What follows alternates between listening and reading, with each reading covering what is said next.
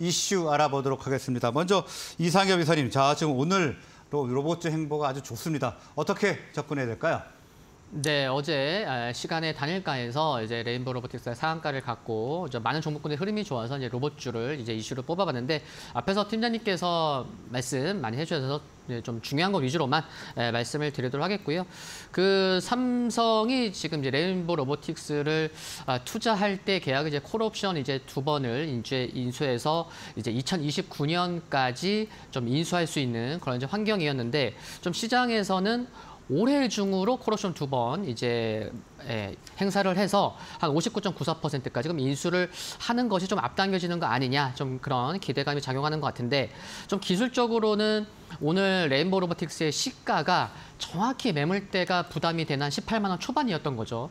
그래서 좀 이렇게 그어 보면은 한 세 번 네 번이 부담이 됐었습니다. 그래서 아, 그 자리가 참 중요한데 에, 좀 계속해서 좀 매물 소화 과정은 필요하겠다라는 것도 에, 참고하시면 좋을 것 같고 그 한종희 부회장이 에, 지난 CS 2024에서 지난 3년 동안에 검토한 기업 수가 무려 260여 곳이라고 합니다. 그러면은 3으로 나누면은 야 거의 1년에 평균적으로 한 80곳 이상을 M&A 할까 말까 좀 확인해 보고 그런 가치도 평가해 봤을 것 같은데 근데 또 지금 뭐 이번 주에 이재용 회장이 또 이제 무죄 판결을 이제 받으면서 물론 1심이긴 하지만 어, 또 이제 어, 과거에 2018년이나 2021년에 뭐 석방 가석방 이후에는 대규모 투자를 했던 점 등을 모두 다 종합해 보면은 예, 신산업이라고 하면은 삼성그룹에 있어서는 로봇을 빼놓을 수가 없기 때문에 좀 더 오늘 부각받고 있는 게 아닌가 싶고 그리고 또 어제 또 어, 로봇 관련해서 좋은 소식이 나왔습니다. 식약처에서 웨어러블 로봇 의료기기 품목 지정을 드디어 했습니다. 그래서 좀 법적으로 좀 분류할 수 있는 기준이 애매모호해서 좀 진짜 뭐 개발하고 좀 산업적인 측면에서는 좀 그런 거에 좀 아쉬웠는데 어제 좀 풀렸다는 거 예, 중요한 것 같고요. 휴머노이드 로봇 관련돼서 어제 오늘 또 테슬라 뭐 흐름은 안 좋긴 하지만 휴머노이드 로봇 생산할 거다, 생산 준비하고 있다, 대량 생산 또 뉴스가 나오고 있습니다. 그리고 최근에는 뭐 마이크로소프트랑 오픈 AI가 또 휴머노이드 로봇 스타트업에 또 투자를 논의하고 있다, 함께 논의하고 있다는 소식도 있기 때문에 이제 지능형 로봇까지 얘기가 나오면은 이게 계속해서 이슈가 될 수밖에 없, 다는 점. 그래서 올해는 로봇 상용화에 대한 좀 관심을 가지면서 실질적으로 좀 수치까지 잡히는 기업에 계속해서 관심을 가져보면 좋을 것 같습니다. 자, 로봇 상용화까지 살펴볼 필요가 있다 이렇게 말씀을 해주셨고요. 다음은 손유로 팀장님.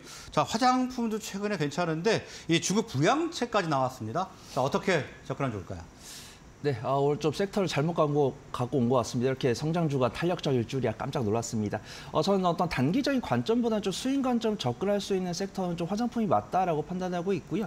어, 화장품 관련 종목들이 실적이 잘 나오고 있는데 워낙 어떤 이제 뭐 저피발 관련 종목이나 뭐 다른 성장주 수급이 가다 보니까 1월 초부터 조금 조정을 받는 모습 보여줬는데 그런 시간적인 기간 조정이 좀 충분히 좀 반영이 된 것이 아닌가 그렇게 판단하고 있습니다. 그래서 실적이 잘 나오는데 투자분들 뇌리에서 잊혀졌다가 다시 한 번 더 부각받을 수 있는 타이밍이 왔다라고 판단되고 있는데 일단은 근데 갑자기 반도체랑 로봇이 끼어들면서 잠시 묻힌 것 같아요. 그래서 일단은 반도체랑 로봇을 매매하셨다가 그들이 좀 단기적인 피로도 나왔을 때 아, 손 팀장이 화장품을 얘기했었지 화장품을 매매해볼까? 딱 요 관점으로 좀 지켜보시면 좋을 것 같습니다.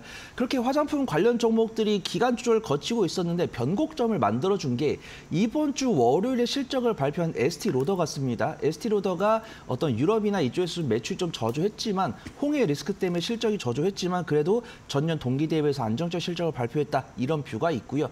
에스티로더 측에서는 이제 감원을 통해서 비용을 줄여서 실적을 더욱더 가시화하겠다 이런 부분이 있습니다. 그러면서 이제 국내 화장품 관련 종목들이 이제 저가 매수가 들어오는 부분이고 일단 중국에서는 늘 이제 노력을 하고 있기 때문에 제가 어떤 중장기적으로 매매하는 것은 상관이 없지만 이 중국에서의 경기 부양책 이슈가 조금 덜 나왔을 때는 그 하방 압력을 받을 수 있으니까 그 부분은 감안하자 그렇게 말씀을 드리도록 하겠습니다.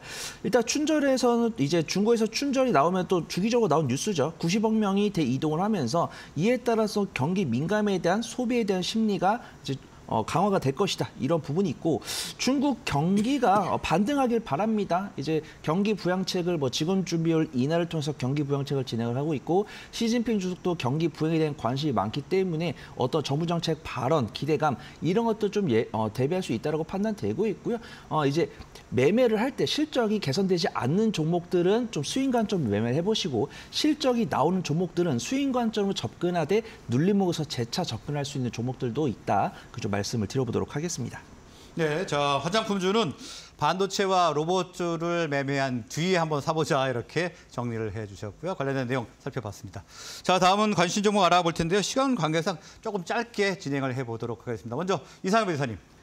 네, 저는 게임주 중에서 웹젠을 뽑아봤습니다. 오늘 대부분의 게임주가 좀 상승하고 있는데 웹젠은 조금 눌리고 있는데 좀 18,000원에 대한 예, 좀 부담을 갖고 실적 발표는 잘 나왔는데 오늘을 좀 이제 좀 물, 예, 눌리는 그런 상황인데요.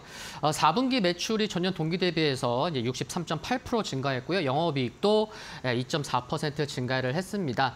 좀 최근에 좀 오름 다른 종목군이 좀 주춤할 때 오른 부분이 있는데 오히려 실적이 발표되니까 오히려 빠지는 그런 경우가 좀 왕왕 있는데 좀 그렇게 보시면 될 것 같다 말씀을 드릴 수 있겠고요. 게임주 중에서도 저평가된 기업들이 몇몇 있는데 그중에 웹젠이 아, 포함이 됩니다. 그래서 올해 컨센 기준에서 저 PBR인 거죠. 한 0.81배 정도. 자사주 보유도 한 15.69% 보유하고 있는 상황이고 어, 시가총액이 현재 한 5,800억 원 되는데 지금 현금성 어, 자산을 살펴보면은 여기에 한 4,500억 원 네, 수준을 갖고 있다는 점도 중요한 부분입니다. 그래서 작년에도 또 주주환원 정책도 했기 때문에 어, 앞으로도 좀 또 하는 또 할 수 있는 게 아닌가 이런 또 개연성도 생각해 볼 수 있는 것 같고요. 최근에 창업 멤버였던 김남주 전 대표도 복귀했고 또 게임 서비스 이제 라인업을 좀 확대하고 에, 신규 IP 개발 집중하려고 하고 있다는 점에 좀 관심을 가져볼 만한 것 같고요. 가격 전략으로는 한 16,900원 이하에서 지금 이제 21선 앞두고 있기 때문에 뭐 반드시 지금 뭐 조금 하락하고 있기 때문에 21선 반드시 지켜진다라기보다는 좀 느긋하게 21선 전후에서 좀 분할 매수하는 게 어떨까 생각이 들고 매도 가격은 21,000원, 손절 가격은 15,790원 말씀드립니다. 네, 웹젠 분석을 해주셨는데요. 김남주 전 대표의 복귀 그리고 아, 신규 IP 발굴에 집중하고 있는 점을 포인트로 짚어주셨습니다. 네, 목표가는 2만 1천 원 제시를 해주셨습니다. 다음은 손 팀장님. 네, 어, 저는 아이패밀리 SC를 말씀을 드릴 겁니다. 다행히 화장품 관련 종목들이 하나씩 하나씩 붉게 변하기 시작했습니다. 그래서 어, 아이패밀리 SC 관심 종목에 넣어 놓으시면 좋을 것 같습니다. 웨딩 서비스랑 화장품, 리빙 용품을 제조 판매를 하고 있고 그 대표가 이제 최시라 씨 남편분 김태욱 님이니까 이 부분도 투자 포인트에 어, 좀 재밌는 부분이다라고 판단되고 있고요. 누즈라는 브랜드는 잘 모르실 텐데 롬앤이라는 브랜드는 잘 들어보셨을 겁니다. 굉장히 좀 실적이 잘 나오고 있다라고 어, 평가가 되고 있고요.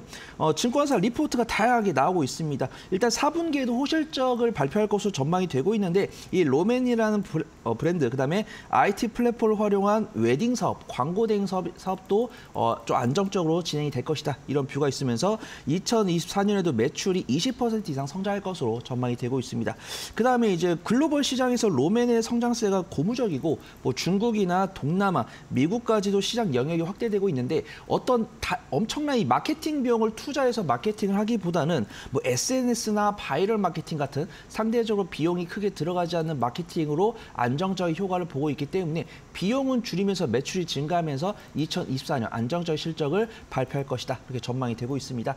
업종포가 69 정도 되는데 현재 포도 36이고요. 11개월 선행포도 11.75이기 때문에 현재도 업종 대비 저평가 매도를 갖고 있는데 저평가 매도가 더욱더 심해질 종목이다. 그렇게 판단되고 있고요. 지금 수급 동향도 외국인과 기관의 점진적인 저가 매수가 들어오기 때문에 21선 부근에서 눌림목 공략을 해보시면 좋을 것 같습니다.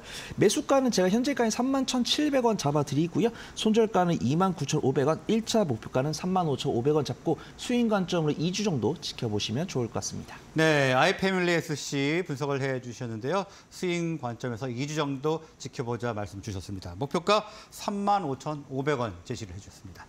자, 오늘 말씀은 여기까지 듣겠습니다. 두 분 수고하셨습니다. 감사합니다. 감사합니다.